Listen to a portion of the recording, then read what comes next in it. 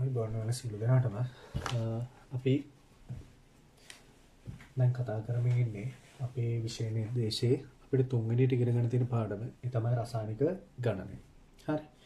ඇත්තටම අපි මේකේ තියරි ටික මුලින් ඉඳන් කරනව නෙමෙයි මේ කරන්නේ. මම ඔයාලට අපේ පළවෙනි වීඩියෝ එකේදී පැහැදිලි කරලා දුන්නා මොකද අපි මේ කරන කාරණේ කියලා වෙලා. අපි මේ කරන්නේ මේ රසායනික ගණනේ මෞලික ආශ්‍රිත ගැටලු ටිකක් විසඳන එක. මොකද මේ රසායනික ගණනේ මේ මෞලික කියන එක හරිම වැදගත් වෙනවා අපේ ඉස්සරහට තියෙන පාඩම් වලට.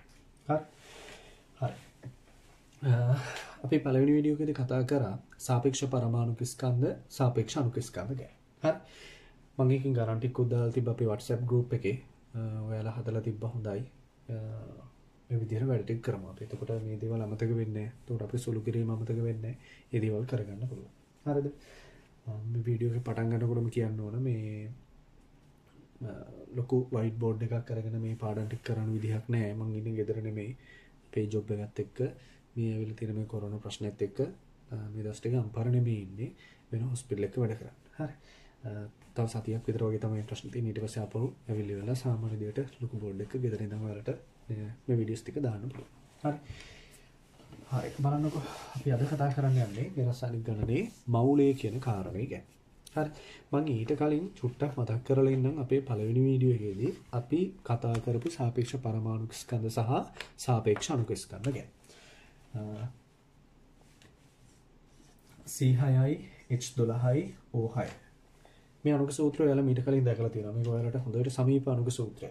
හරිද? මේ තමයි ග්ලූකෝස් කෙරගෙනාගේ අණුක සූත්‍රය. එහෙනම් ග්ලූකෝස් අණුවක් කියලා කියන්නේ C පරමාණු 6ක්, H පරමාණු 12ක් සහ O පරමාණු 6ක් එකට එකතු වෙලා හැදිලා තියෙන සංයෝගය. හරි.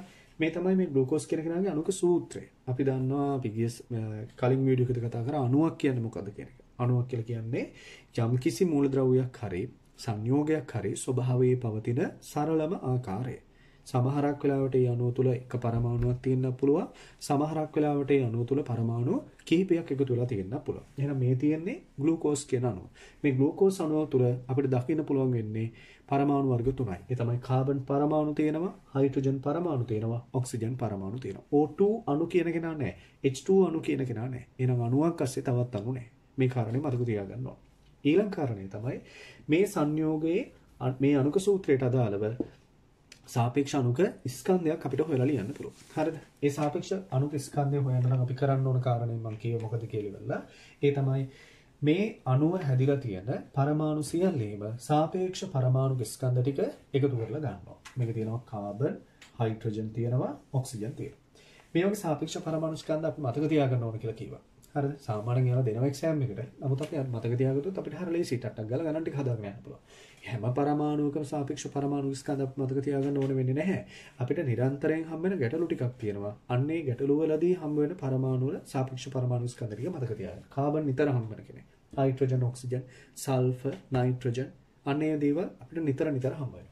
කාබන වල සාපේක්ෂ පරමාණු ස්කන්ධය 12යි, හයිඩ්‍රජන් වල 1යි, ඔක්සිජන් 16යි, නයිට්‍රජන් 14යි, සල්ෆර් කියන එක 32යි, සෝඩියම් 23යි, මැග්නීසියම් 24යි, පොස්පරස් 31යි. මේ විදිහට ටිකක් මතක තියාගන්න. හරි. කාබන් එක්කෙනෙකුගේ සාපේක්ෂ පරමාණු ස්කන්ධය 12යි. ඒ જાතියේ පරමාණු 6ක් තියෙනවා. ඒ නිසා කාබන් වලින් ලැබෙන ස්කන්ධය 72යි. හයිඩ්‍රජන් එක්කෙනෙකුගේ ස්කන්ධය 1යි. ඒ જાතියේ 12ක් ඉන්නවා. ඒ නිසා මෙතන හයිඩ්‍රජන් වලින් ලැබෙන ස්කන්ධය 12ක් වෙනවා. ඔක්සිජන් එක පරමාණුවක සාපේක්ෂ පරමාණු ස්කන්ධය 16යි. ඒ જાතිය මෙතන 6 දෙනෙක් හරි. හරි එහෙනම් බලන්නකෝ 12 වරක් 6 72ක් වෙනවා.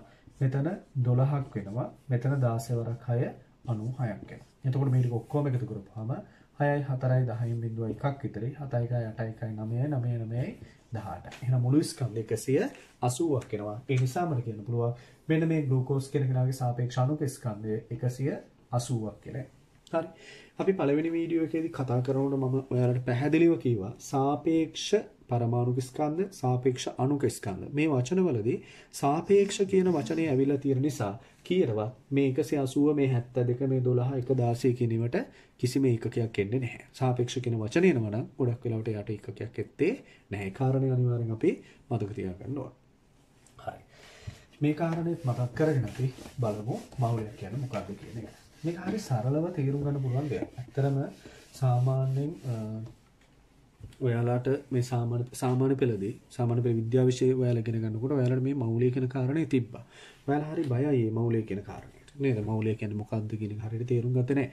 සමහර කටපාඩමේ මතක තියාගෙන ඉන්නවා මෞලික කියන්නේ මේක කියලා. හරි. මම මේ කියලා දෙන විදිහට මතක තියාගන්න. එතකොට මේක පැටලෙන්නේ හරි සරල. හරිද? හරි. දැන් අපි හැමෝම අහලා තියෙනවා දුසිමක් කියන වචනේ. හරි. අපි දන්නවා දුසිමක් කියලා කිව්වා මොන වගේ හරි 12ක් එක තුල තියෙනවා. හරි. මං කියනවා මට half sheet කොළ දුසිමක් ඕන. එහෙනම් අනිවාර්යෙන් කඩෙන් දෙන්නේ half sheet කොළ 12ක් ගණන් කරලා දෙන්න. මට පිටුවසුවේ පොත් දුසිමක් ඕන කියලා කියනවා. එහෙම වුණොත් අනිවාර්යෙන් පිටුවසුවේ පොත් 12ක් ගණන් කරලා දෙන්න. එහෙනම් යම් කිසි ද්‍රව්‍යයකින් 12ක් ගත්තොත් අපි ඒකට දුසිමක් කියනවා. අන්න ඒ වගේ යම් කිසි ද්‍රව්‍යයකින් 6.0.2 ගුණ කිරීම 1023ක ප්‍රමාණයක් ගත්තොත් මං අන්න ඒ ද්‍රව්‍යයට කියනවා ඒ ද්‍රව්‍යයෙන් මවුලයක් ගත්ත කියලා. 12ක් ගත්තා කිව්වොත් දුසිමක් ගත්ත කියනවා 6.02 ගුණ කිරීම 1023ක ප්‍රමාණයක් ගත්තොත් අපි මවුලයක් ගත්ත කියලා කියනවා. හරි එහෙනම් මම පිටු 80 පොත් 6.02 ගුණ කිරීම 1023ක ප්‍රමාණයක් ගත්ත කියලා කියන්නේ පිටු 80 පොත් මවුලයක් ගත්ත කියන එකයි. තේරුණාද? හරි. එහෙනම් මම පරමාණු වලින් 6.02 ගුණ කිරීම 1023ක ප්‍රමාණයක් ගත්ත කියලා කිව්වොත් ඒ කියන්නේ මම පරමාණු කොච්චරක් කරන්ද? පරමාණු මෞලික ප්‍රමාණයක් කරගෙන. මම ජලාණු 6.02 ගුණ කිරීම 1023ක ප්‍රමාණයක් ගත්තා නම් ඒ කියන්නේ මම ජලාණු මෞලික ප්‍රමාණයක් අරන් තියෙනවා. පැහැදිලිද? එහෙනම් ඔයාලට තේරෙන්න ඕන මෞලයක් කියලා කියන්නේ යම්කිසි ද්‍රව්‍යකින් ඒකක 6.02 ගුණ කිරීම 1023ක ප්‍රමාණයකට. තේරුණාද? හරි. දැන් ඔයාලට හිතනවා ඇති මේ ඉලක්කම මොකද්ද? මේක මේ හීනෙන් දැක්ක එකක්ද? මොකද්ද කියලා වෙලා හිතනවා ඇති. හරිද? මේකට අපි කියනවා ඇවගාඩ්‍රෝ අංකය. නැත්නම් ඇවගාඩ්‍රෝ ඉලක්කම. ඇවගාඩ්‍රෝ සංඛ්‍යා. ඇවගාඩ්‍රෝ නියමය කියන්නේ මේකට නෙමෙයි. හරි. මේකට අපි කියන ඇවගාඩ්‍රෝ නියතය, ඇවගාඩ්‍රෝ අංකය, එහෙම නැත්නම් ඇවගාඩ්‍රෝ සංඛ්‍යාව කියලා කියන්නේ මෙන්න මේ ඉලක්කම.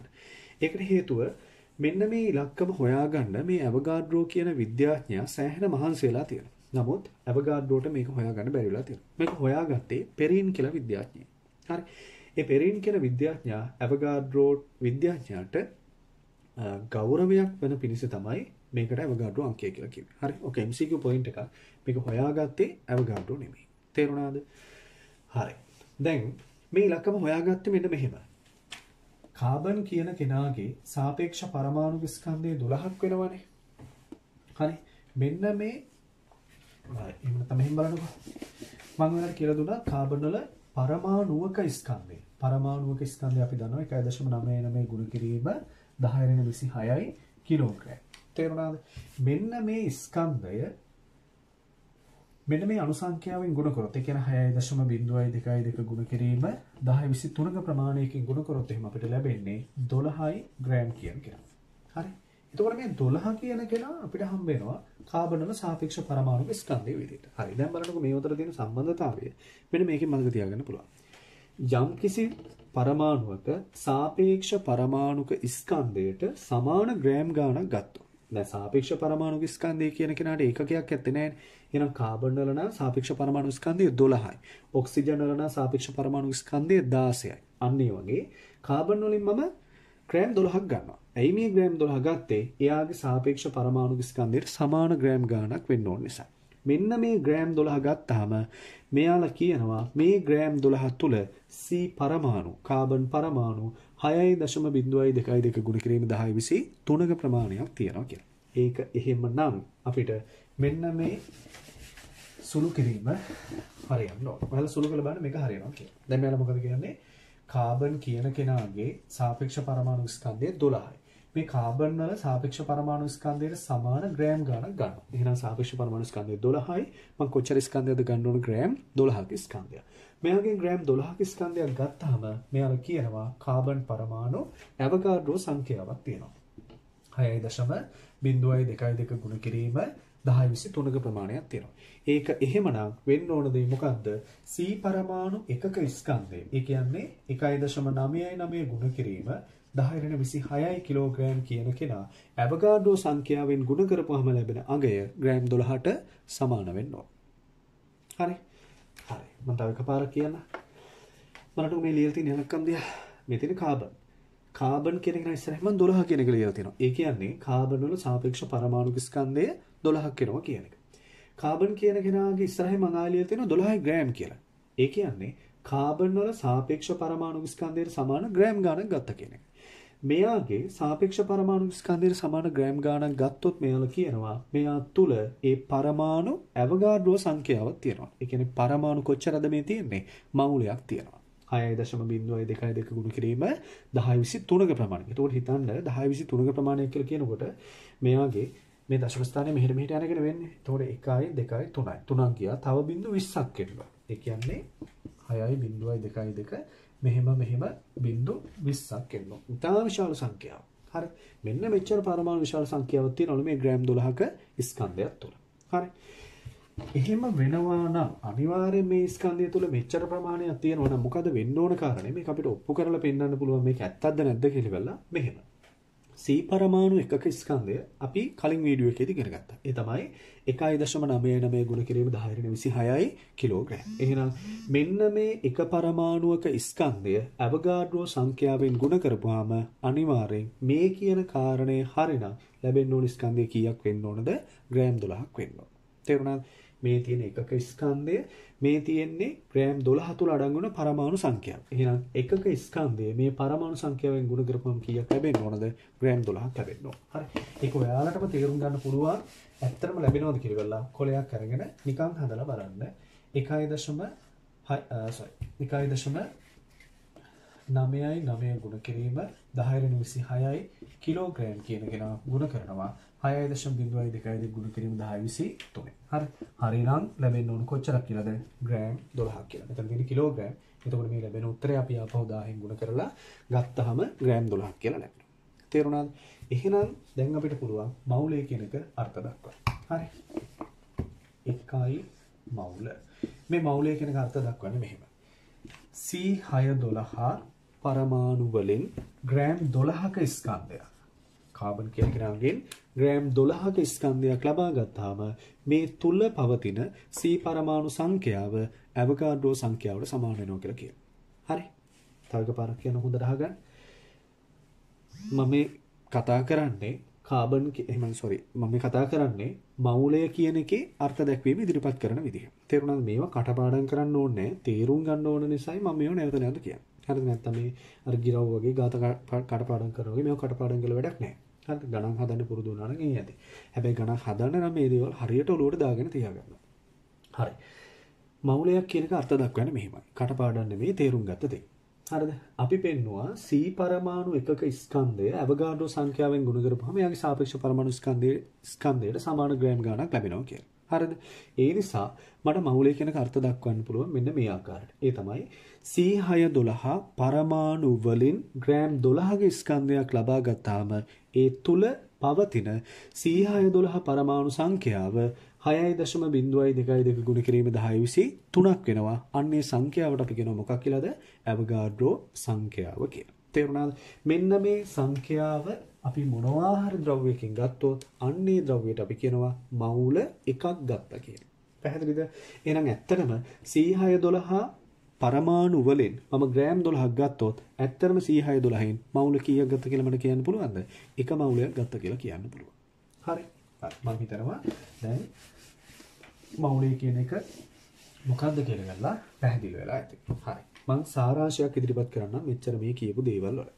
පළවෙනි කාරණේ තමයි අපි දැනගන්න ඕන මවුලය කියලා කියන්නේ මොකක්ද කියන එක. මවුලය කියලා කියන්නේ ද්‍රව්‍ය ප්‍රමාණය මනින ඒකකය. 12 කියන්නේ දුසිමට ඒ වගේ 6.02.2 ගුණ කිරීම 1023ක ප්‍රමාණයකට අපි කියන්නේ ඒ ද්‍රව්‍යයෙන් මවුලයක් වෙනවා කියන්නේ. හරි. 6.02.2 ගුණ කිරීම 1023ක ප්‍රමාණය. ඕනම ද්‍රව්‍යයකින්. හරි මම බස් වලින් 6.02 ගුණ කිරීම 1023ක් තියෙනවා කියලා කිව්වොත් බස් මවුලයක් තියෙනවා කියලා කියන්න පුළුවන්. හරි. ඒ වගේ පරමාණු, ඉලෙක්ට්‍රෝන, ප්‍රෝටෝන මේ විදිහට මවුලේ මවුලේ අපිට ඉදිරිපත් කරන්න පුළුවන්. මවුල සංඛ්‍යාව සොරේ. හරි. මේ මවුලේ ඒකකය MOL.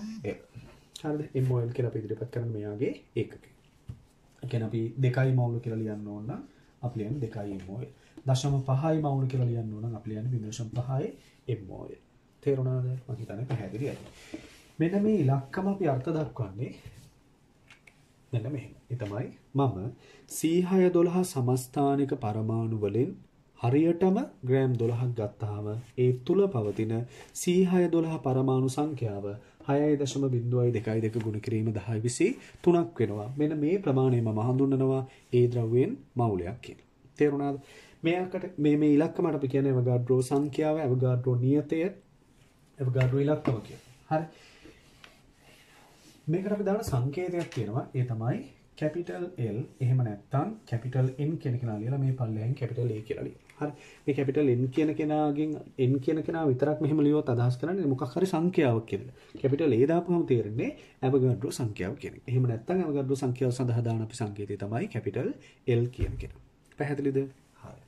දැන් මෙන්න මේ කාරණේ ඉගෙන ගන්න පුළුවන් තව කාරණයක් තියෙනවා. අපි දැන් කිව්වා කාබන් 612න් හරියටම ග්‍රෑම් 12ක් ගත්තොත් මේ ග්‍රෑම් 12 කියන්නේ යාගේ සාපේක්ෂ පරමාණු ස්කන්ධය. හරි. 12 කියලා කියන්නේ සාපේක්ෂ පරමාණු ස්කන්ධය. එයාට සමාන ග්‍රෑම් ගාණක් ගන්න.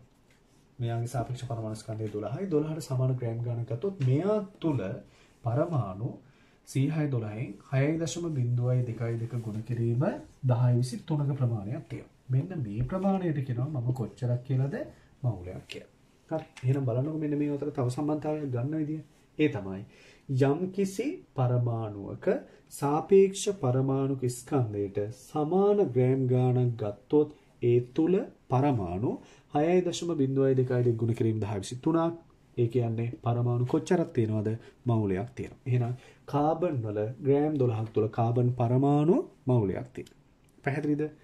මෙයාගේ සාපේක්ෂ පරමාණු ස්කන්ධය සමාන ග්‍රෑම් ගාන ගත්ත කියලා කියන්නේ එයාගෙන් පරමාණු මවුලයක් ගත්ත කියන එකයි. හරි. හරි. දැන් අපි බලමු වෙන කෙනෙක් අදාළ කොහොමද වෙන්නේ කියලා බලන්න. ඔක්සිජන් කියන කෙනාගේ සාපේක්ෂ පරමාණු ස්කන්ධය 16යි. එහෙනම් මෙයාගෙන් ඔක්සිජන් පරමාණු මවුලයක් මට ලබා ගන්න ඕන නම් දැන් ඔයාලට තේරෙන්න ඕන කොච්චර ග්‍රෑම් ප්‍රමාණයක් ගන්න ඕනද කියලා. හරි. එහෙනම් කොච්චර ගත්තනම් හරිද?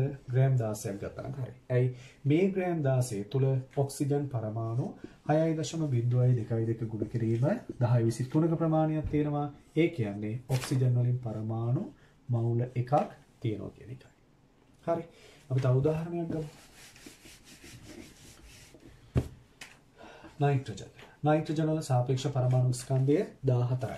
එහෙනම් මම නයිට්‍රජන් වලින් ග්‍රෑම් 14ක ස්කන්ධයක් ගත්තොත් සාපේක්ෂ පරමාණු ස්කන්ධයට සමාන ග්‍රෑම් ගාණක් ගත්තොත් එහෙම මෙයා තුල නයිට්‍රජන් පරමාණු 6.02 ගුණ කිරීම 1023ක ප්‍රමාණයක් තියෙනවා. ඒ කියන්නේ නයිට්‍රජන් පරමාණු කොච්චරක් තියෙනවද? මවුලික ප්‍රමාණයක් මේ තුල අඩංගු වෙනවා. හරි. දැන් අපි ටිකක් විතර වෙනස් ගානක් හරි.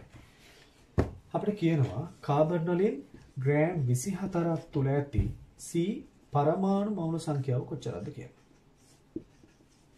හරි. මෙන්න මේ ප්‍රශ්නේ කාබන් මෙහිමයි. ඔයාලා සමහරක් වෙලාවට මේවට ඉස්සරහට සමීකරණ ඉගෙන ගන්නවා මේ ගණන් හදන්න. හරිද? නමුත් මම කිසිම දවසක පන්තියක උගන්වන්නේ නැහැ සමීකරණයකට දත්තරේ ආදේශ කළේවල උත්තරේ ගන්න. මොකද හිමුණොත් එහෙම ළමයි ගාන කියවලා අපිට ගාන හදාගන්න බැරි වෙනවා. අපි සමීකරණ වලට පුරුදු වෙලා ගියා. ඒ නිසා අපි ගාන තේරුම් ගන්න ඕනේ. ගාන අපි හරියට තේරුම් ගත්තොත් එයාලා මොන විදිහට කරකවලා දත්ත ටික දුන්නා අපි ගාන අවබෝධ කරගන්න ඉන්නේ. එතකොට ප්‍රශ්නේ ලස්සනට විසඳ ගන්න පුළුවන්. හරි නිසා කිසිම දවසක සමීකරණ වලින් ගණන් හදන්න පුරුදු වෙන්න එපා. සමීකරණ පුරුදු මතක තියෙන්න ඕන. නමුත් ඒවට දත්ත ටික ඔක්කොම ආදේශ කළ වෙලා ගණන් හදන්න යන්න ඕනේ. හොඳට පාඩම තේරුම් ගන්න. එතකොට පාඩම හොඳට තේරුම් ගන්න කොච්චර අමාරු ගානක් දුන්නත් අනිවාර්යෙන් අපිට ඒ පාඩම ඒ ගාන උඩ දා ගන්න පුළුවන්. හරි. මේක අපේ දැන් ප්‍රශ්නේ කාබන් වලින් ග්‍රෑම් 24ක් තුල තියෙන C පරමාණු මවුල සංඛ්‍යාව කීයද කියලා අහනවා. හරි. දැන් බලන්න ගාන හදන විදිහ.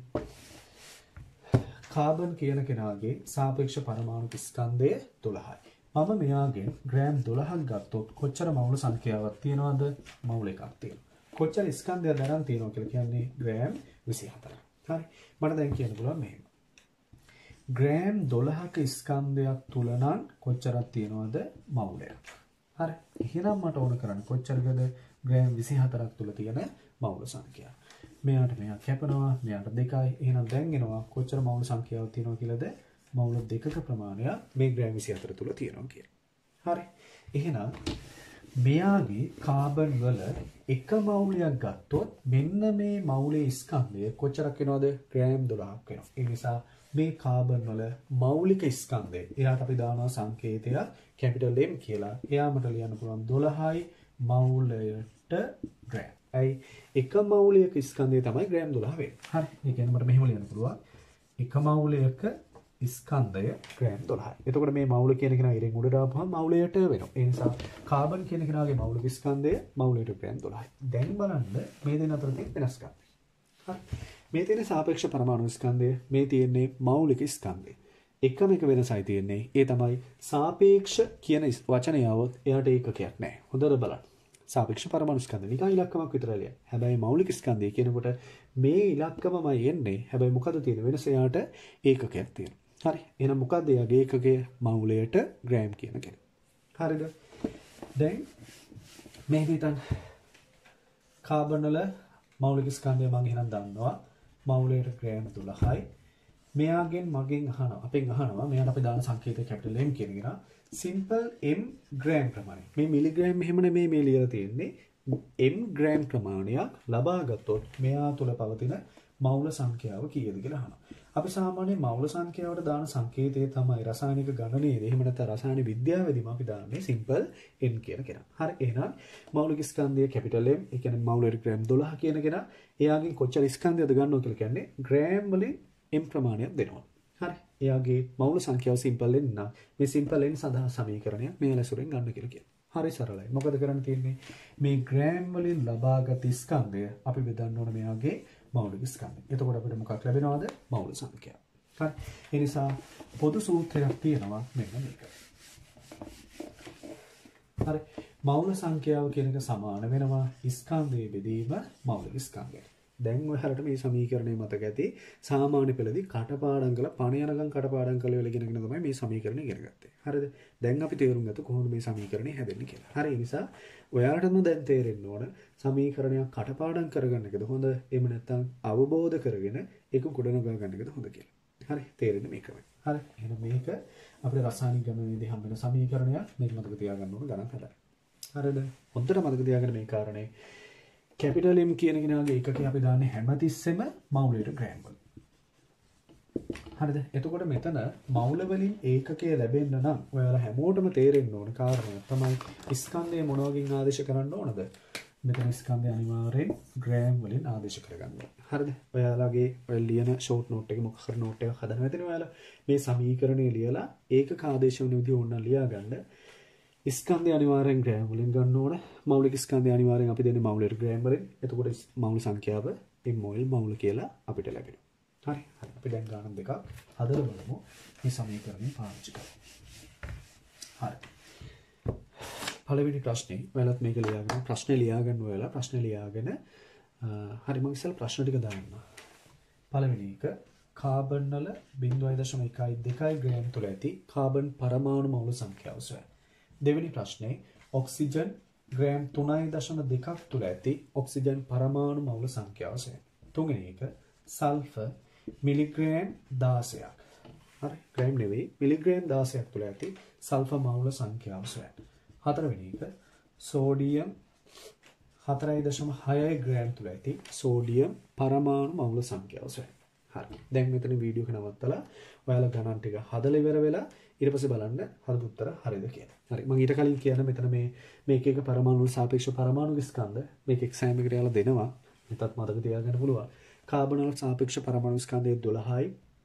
ඔක්සිජන් කියන කෙනාගේ සාපේක්ෂ පරමාණු ස්කන්ධය 16යි. සල්ෆර් වල සාපේක්ෂ පරමාණු ස්කන්ධය 32යි. සෝඩියම් වල සාපේක්ෂ පරමාණු ස්කන්ධය 23යි. හරි. දැන් අපි බලමු මේ ගණන් ටික හදන්න කොහොමද කියලා. ඔයාලා හදලා ඉවර වෙලයි මේ හදන කොටස බලන්න.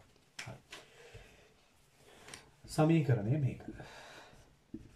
මෞල සංඛ්‍යාව සමාන ස්කන්ධ බෙදීම මෞලික ස්කන්ධය. හරි. මතක තියාගන්න සමීකරණයක් කියලා කියන්නේ ළමයි මෙයා මිනිසෙක් නෙමෙයි. මෙයාට හිතන්න බෑනේ. එතකොට අපි දාන දේවල් වලට අනුව තමයි උත්තරේ ලැබෙන්නේ. අපි දාන දේවල් මේකට හරි ගියොත් හරි උත්තරේ ලැබෙනවා. හැබැයි අපි මේකට ආදේශ කරන දේවල් වැරදුනොත් එහෙම වැරදි උත්තරේ ලැබෙනවා. හරි බලන්න. මට දැන් ඕන කරන්නේ කවුද? මෞලයනේ. එහෙනම් මෞල ගාන කීයද කියලා ඕන කරන්නේ. එහෙනම් මම මොනවද මේකට ආදේශ කරන්න ඕන? මෞලික ස්කන්ධයයි දීලා තියෙන ස්කන්ධයයි. දැන් මේ දීලා තියෙන ස්කන්ධය කාගේ ස්කන්ධය දීලා තියෙන්නේ? කාබන් වල. කාබන් වල පරමාණු වල ස්කන්ධය 0.1 2 ග්‍රෑම්. එහෙනම් මෙතෙන්ට මම මේක දාන්න. එහෙනම් මේ දැන් මේ පරමාණු වල ස්කන්ධය නම් මෙතෙන්ට දාන්න ඕන පරමාණුවේ මෞලික ස්කන්ධය. කාබන් වල පරමාණුවේ මෞලික ස්කන්ධය එයාගේ සාපේක්ෂ පරමාණු ස්කන්ධයට සමාන. එහෙනම් මට ලියන්න පුළුවන් 0.1 ග්‍රෑම් බෙදීම කාබන් වල සාපේක්ෂ පරමාණු ස්කන්ධය 12යි. ඒ නිසා යාගේ මෞලික ස්කන්ධය ඉන්නේ 12යි මවුලයට ග්‍රෑම් කියලා. අනිවාර්යෙන් ඒක ආදේශ කරන්න ඕනේ. මේ ග්‍රෑම් වලට මේ ග්‍රෑම් කැපිලා යනවා. එතකොට මේ මවුලයට කියන එක නයිරෙන් උඩට යනවා. හරි. එතකොට බලන්න සුළු වෙන්නේ කොහොමද කියලා ඉවරලා 12 වරක් බිඳුවට නැහැ. බිඳුවයි දශම එකට නැහැ 12ට එකක් තියෙනවා. හරි. මේ මවුලයට කියන එක නයිරෙන් උඩට ගියපුවාම සුළු වෙලා ලැබෙනවා සිම්පල්ෙන් මවුල සංඛ්‍යාව සමානයි 0.01යි මවුල කියලා. හරි. එහෙනම් මේ මොන මවුල සංඛ්‍යාවද මේ ආවේ? කාබන් වල පරමාණු මවුල සංඛ්‍යාව. මොකද මෙතන කාබන් කියන එක නම් පවතින පරමාණු විදියට. නිසා මේ මවුල පරමාණු මවුල කියලා කියන්න පුළුවන්. හරි. හරි. ඊළඟට මම දුන්නා ඔක්සිජන් කියන එක. ඔක්සිජන් වල 3.2 ග්‍රෑම් තුල පවතින මවුල සංඛ්‍යාව. ඒත් අර තමයි. මවුල සංඛ්‍යාව සමාන ස්කන්ධය බෙදීම. මෞලික ස්කන්ධය ස්කන්ධය 3.2 ග්‍රෑම් මේ ස්කන්ධය ඔක්සිජන් වල ස්කන්ධය. එහෙනම් මෙතන කැපිටල් M සඳහා දාන්න ඕන ඔක්සිජන් වල මෞලික ස්කන්ධය. වෙන කෙනෙක් දාලා හරියන්නේ නැහැ මොකද මේ දීලා තියෙන ඔක්සිජන් වලට දාලානේ ඔක්සිජන් කියන කෙනාගේ සාපේක්ෂ පරමාණු ස්කන්ධය 16යි ඒ නිසා කැපිටල් M කියන කෙනාගේ මෙතන 16යි මවුලයට ග්‍රෑම් වෙනවා. මේ ග්‍රෑම්ට මේ ග්‍රෑම් කැපිලා යනවා. දාසය වරක් තුනට නැහැ බින්දුවයි තිස් දෙකට දෙකයි. එහෙනම් සුළු කරපුහම ලැබෙනවා මේ මවුලයට කෙනෙකෙන රිමුඩට ගිපහම තුනයි දශම දෙකයි ග්‍රෑම් තුළ පවතින ඔක්සිජන් මවුල සංඛ්‍යාව බිඳුවයි දශම දෙක්කායි මවුල වෙන හරි. තුගෙන ගාන. මඳුන්නේ සල්ෆ කියන කෙනගෙන් මිලිග්‍රෑම් දාසයක් ගත්තු මේ තුළ පවතින මවුල සංඛ්‍යාව. හරි. දැන්මන දැන් කාට පාඩමින් සමීකරණයට ඔහි නිකන් ඉලක්කම් ටික ලියන ලියන ගියොත් වරදින තැන් මේ. මම දානවා 16 මෙතෙන්ට. මිලිග්‍රෑම් බෙදීම හරි නිකන් නම් 16 මෙතෙන්ට දාන්න. බෙදීම සල්ෆර් ගෙනගෙනගේ සාපේක්ෂ පරමාණු ස්කන්ධය මම ඉස්සෙල්ලා කිව්වා 32යි. බෙදනවා 16. එකට නෑ. එහෙම නැත්තම් 16 වරක් එකයි මේකට දෙකයි කියන සුළු කරපම් 0.5යි. ලියනවා 0.5යි මවුල කියලා. හරිද මේක? මේක සම්පූර්ණයෙන්ම වැරදි. දැන් බලන්න වැරදුනේ කොහෙද කියලා බලන්න. මං කීවා සමීකරණය ලියලා මේ දත්ත ආදේශ කරද්දි මොකක් සඳහන් කරන්න ඕන කියලා. ඒකකේ දානවා. ඒකකේ දාලා තිබ්බනම් මේ වැරද්ද වෙන්නේ නැහැ. හරි දැන් අපි ඒකකේ දාලා බලමු කොහොමද වැරද්ද වෙන්නේ නැත්තේ කියලා ගන්න. මෞල සංඛ්‍යාව සමාන ස්කන්ධය බෙදීම මෞලික ස්කන්ධයට. හරි. ස්කන්ධය දීලා තියෙන්නේ 16යි මිලිග්‍රෑම්. මම ඒක එහෙමම ලියනවා. සල්ෆ කියන කෙනාගේ මෞලික ස්කන්ධය 32යි මවුලයට ග්‍රෑම්. ඔන්න දැන් අපිට තේරෙනවා අපි මේ හදන විදිහ හරිද කියලා. ඇයි ග්‍රෑම් වලට මිලිග්‍රෑම් කියන කෙනා කපලා දාන්න බෑ. මේ Gට මේ G කපනව නෙමෙයි කරන්නේ. මේ ග්‍රෑම් වලට මිලිග්‍රෑම්.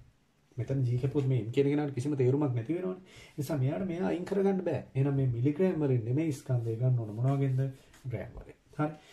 මිලිග්‍රෑම් ග්‍රෑම් කරන නම් මම මොකද කරන්න ඕන මේක 10න් බෙදන්න ඕන. හරි. ඒ නිසා දාසය ගුණ කිරීම දාහිරෙන තුනයි දාහෙන් බෙදනවා කියලා කියන්නේ දාහිරෙන තුනෙන් ගුණ කරනවා කියන එක. ග්‍රෑම් කියලා දැන් ලියන්න පුළුවන්.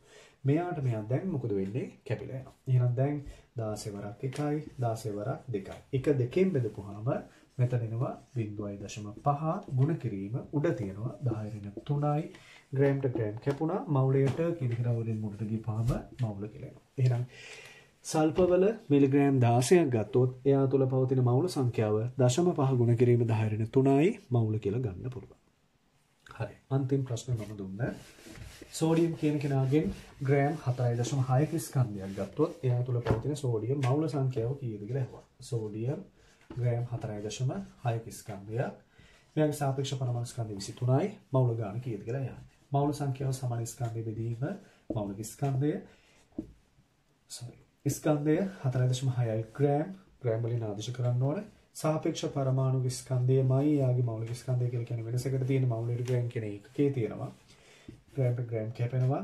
23 ඒවා හතරට නැහැ. 0.46ට දෙකයි. මෞලයට කියන කෙනා ඉරි මුඩට ගිහපුවාම 0.2යි මෞල කියලා. එහෙනම් මේ තමයි සෝඩියම් ග්‍රෑම් 4.6ක් තුල පවතින සෝඩියම් වල මෞල සංඛ්‍යාව. වෙන්නේ. හරි. එහෙනම් දැන් ඔයාලට තේරෙනවා පරමාණු මවුල සංඛ්‍යාවල හොයන විදිහ. දැන් අපි චුට්ටක් විතර වෙනස් තැනකට යන්නයි හදන්නේ. සංසන්දනය කරලා බලමු. මෙන්න ඔක්සිජන්. මෙන්න H2O. මෙයා පරමාණුවක් මේ තියෙන්නේ අණුව. මෙයාගේ සාපේක්ෂ පරමාණු ස්කන්ධය 16යි. එහෙනම් මෙයාගේ සාපේක්ෂ පරමාණු ස්කන්ධයක් කතා කරන්න බෑ. අණුවක් නිසා අපිට යාගේ කතා කරන්න වෙන්නේ සාපේක්ෂ අණු ස්කන්ධය. මෙයාගේ සාපේක්ෂ අණු ස්කන්ධය 18යි. කොහොමද ගන්නෙ? ඔක්සිජන් එක්කෙනෙක් 16යි, හයිඩ්‍රජන් එක්කෙනෙක් 1යි. එකේව දෙකක් තියෙනවා. එතකොට මෙතන 2යි, මෙතන 16යි ඔක්කොම ටික 18ක් වෙනවා. හරි. සාපේක්ෂ පරමාණු ස්කන්ධය එයාගේ මෞලික ස්කන්ධයට සමානයි. ඒ නිසා මෙයාගේ මෞලික ස්කන්ධය වෙන්නේ මෞලයට ග්‍රෑම් 16යි කියන්නේ. මේකේ තේරුම මොකද්ද? මෞලයට ග්‍රෑම් 16. ඒ කියන්නේ මෞලයක ස්කන්ධය ග්‍රෑම් 16. හරි. එහෙනම් මෙයාගෙත් මට කියන්න පුළුවන් සාපේක්ෂ අණුක ස්කන්ධය මෙයාගේ මෞලික ස්කන්ධයට සමාන වෙනවා. එහෙනම් මෙයාගේ මෞලික ස්කන්ධය කීයක් වෙනවද? 18යි මෞලයට ග්‍රෑම්. ඒ කියන්නේ මොකද්ද? ජලය H2O කියන කෙනාගෙන් මෞලයක ප්‍රමාණයක් මම ගත්තොත් හරි ඒ කියන්නේ කොච්චරද මම ගන්න ඕන මම ජලාණු ගණන් කර කර ගණන් කර කර ඇවගාඩ්‍රෝ සංඛ්‍යාවක් ගන්න ඕන. කියන්නේ 6.0.2 ගුණ කිරීම 10.23ක ප්‍රමාණයක් ගත්තොත් තමයි මේ ජලය කෙනගෙන මෞලික ප්‍රමාණයක් ලබා ගත්ත වෙන්නේ. අන්න එහෙම මෞලික ප්‍රමාණයක් ගත්තොත් ඒක තුල පවතින මුළු ස්කන්ධය ග්‍රෑම් 18ක් වෙනවා. ඒක යාගේ සාපේක්ෂ අණු ස්කන්ධයට සමානයි. හරි. ඒ නිසා මේකදී අපි මතක තියාගන්න ඕන පොදු කාරණයක් තියෙනවා. ඒ තමයි පරමාණුවක සාපේක්ෂ පරමාණු ස්කන්ධය එයාගේ මෞලික ස්කන්ධයට සමානයි. අණුවක සාපේක්ෂ අණු ස්කන්ධය එයාගේ මෞලික ස්කන්ධයට සමානයි. වෙනස මොකද්ද? මෙයාට ඒකකයක් නැහැ, මෙයාට ඒකකයක් තියෙනවා. මෙයාට ඒකකයක් නැහැ, මෙයාට ඒකකයක් තියෙනවා. ඒ ඒකක එන්නේ මොන වගේද? මෞලයට ග්‍රෑම් කියලා. හරි. දැන් අණු ආශ්‍රිත ගැටලු ටිකක් හදනවා. හරි. මට කියනවා අපි H2O ගමු. H2O කියන කෙනා ග්‍රෑම් ග්‍රෑම් 36ක ඇති H2O මවුල ගාන කීයද කියලා මවුල ගාන කීයද හරි අරගෙන පොදු සූත්‍රේ මවුල සංඛ්‍යාව සමානයි ස්කන්ධය බෙදීම මවුලික ස්කන්ධය දැන් මම ඔයාලට කලිනුත් කීවා සමීකරණ කියන්නේ මිනිස්සු නෙමෙයි. මෙයාලට හිතන්න බෑ. අපි දාන දේවල් වලට අනුව තමයි උත්තර ලැබෙන්නේ. අපි දාන ඒවා හරි දේවල් දැම්මොත් හරි උත්තර අපිට ලැබෙනවා. හරි. දැන් මට මෙතෙන්ට ඕන කරන් කාගේ මවුල සංඛ්‍යාවද? ජලයේ මවුල සංඛ්‍යාව. මෙයාගේ ජලයේ මවුල සංඛ්‍යාව මට ඕන කරන්නේ මේ තැන් දෙකට දාන්න ඕන මොනවද? මෙතෙන් දාන්න ඕන ජල ස්කන්ධය, මෙතෙන් දාන්න ඕන ජලයේ මවුලික ස්කන්ධය. ජලයේ ස්කන්ධය කීයක් කියලා දීලා තියෙන්නේ 36යි ග්‍රෑම්. බෙදීම ජලයේ මවුලික ස්කන්ධය මෙයාගේ සාපේක්ෂ අණු ස්කන්ධයට සමානයි. ඒ කියන්නේ කීයද? 18යි මවුලයට ග්‍රෑම්. මේකට මෙයා කැපිලා යනවා සුළු වෙනවාම 18 ඒවා 36ට දෙකක් තියෙනවා. දෙකයි මවුලයට කියනගෙන උඩට ගිහපාම මවුලය කෙරේ. හරි එහෙනම් ජලයේ ග්‍රෑම් 36ක් තුල පවතින ජලයේ මවුල සංඛ්‍යාව කීයක් කියලා මට ලියන්න පුළුවන්ද? මවුල දෙකයි කියලා කියන්න පුළුවන්. හරි. ඒක උදාහරණයක්. කාබන් ඩයොක්සයිඩ් ග්‍රෑම් 22ක් ගන්නවා. අපි ගන්නවා මේ තුල පවතින මවුල සංවේගී පවතින මවුල ගාන කීයද කියලා. අරකමයි මවුල සංඛ්‍යාව සමාන ස්කන්ධය බෙදීම මෞලික ස්කන්ධය ඕන කරන්නේ කාබන් ඩයොක්සයිඩ් වල මවුල ගාන. එහෙනම් මම මෙතන දාන්න ඕන කාබන් ඩයොක්සයිඩ් වල ස්කන්ධය, මෙතන දාන්න ඕන කාබන් ඩයොක්සයිඩ් වල මෞලික ස්කන්ධය. දීලා තියෙන කාබන් ඩයොක්සයිඩ් වල ස්කන්ධය 22 ග්‍රෑම් බෙදීම කාබන් ඩයොක්සයිඩ් වල මෞලික ස්කන්ධය එයාගේ සාපේක්ෂ අණු ස්කන්ධයට සමානයි. ඒ කියන්නේ මම මේක බෙදන්න ඕන කීයෙන්ද? මවුලයට ග්‍රෑම් 44. ග්‍රෑම්ට ග්‍රෑම් කැපෙනවා 22 1යි 22 2යි. එක බෙදීම 2යි කියලා කියන්නේ කීයද? 0.5යි. මවුලයට කියන කෙනා ඉරින් උඩට ගිහපහම මවුල කියලා. හරි. හරි. දැන් ඔයාලට හිතනවාද මේව ගණන්ද? හරි. මෙන්න ගණන්. හරි පුළුවන් නම් මෙන්න මේක හරි. හරි. හැමෝම try කරන්න. කියනවා කාබන් ඩයොක්සයිඩ් ග්‍රෑම් අපි සුල්ගම ලෙසිකම්ගම් හතරයි දශම හතරයි ග්‍රෑම් ප්‍රමාණයක ඇති ප්‍රශ්න දෙකක් තුනක් කියනවා. පළවෙනි එක CO2 අණුමවුල සංඛ්‍යාව. CO2 කියන පරමාණුවක් නෙමෙයිනේ. එහෙනම් CO2 මවුල ගාන කියලා කියන්නේ මොන අණු ගානට මොන මවුල ගානටද? CO2 අණු මවුල ගාන. දෙවෙනි ප්‍රශ්නේ C පරමාණු මවුල ගාන. තුන්වෙනි ප්‍රශ්නේ ඕ පරමාණු මවුල ගන්න. හතරවෙනි ප්‍රශ්නේ O2 අණු මවුල ගන්න. මෙන්න මේ මවුල සංඛ්‍යාවල් කීයද කියලා හොයන්න. හරි. හරි. මම මෙතන මේ වීඩියෝ එක නවත්තන්න. ඔයාලා මෙන්න මේ ගණන් ටික හදන්න. හරි. හදලා ඉවරලා බලන්න කොහොමද උත්තර එන්නේ කියලා. මම හෙට අපෝ ඊළඟ දවසේ තව වීඩියෝ එකක් දානවා. මේකේ ඊළඟ වීඩියෝ එක බලන්න තුන්වෙනි වීඩියෝ එක. ඒ වීඩියෝ එකේදී මම මේ ගාන හදන්නේ කොහොමද කියලා පැහැදිලි කරලා දෙන්න. හරිද? ඒත් එක්කම ඔයාලා මේ ගාන හදලා ඉවරලා අපේ 2022 ට මම වෙනම WhatsApp group එකක් හදලා තියෙනවානේ. අන්නේ WhatsApp group එකේ උත්තර ටික දාන්න. ඔයාලා මට වෙන වෙන මේවන මගේ ගෝප් එකේ මට විතරයි මෙසේජ් දාන්න පුළුවන්. ඔයාලා මට වෙනම මෙසේජ් එවන්න මෙන්න මේවට උත්තර මොනවද කියලා. හරිද? ඊට පස්සේ මම ඔයාලා දීලා තියෙන උත්තර දිහා බලලා ඔයාලා කරලා තියෙන වැරදි මොනවද කියලා බලලා ඉවරලා මම මේක නිවැරදි කරලා දෙන්න. හරි හැමෝම අනිවාර්යෙන් මේ දේ කළ යුතුමයි. එහෙනම් අදට මෙච්චරයි.